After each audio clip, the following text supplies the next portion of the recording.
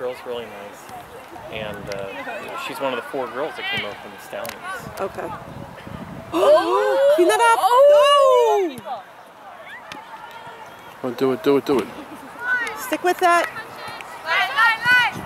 Good job.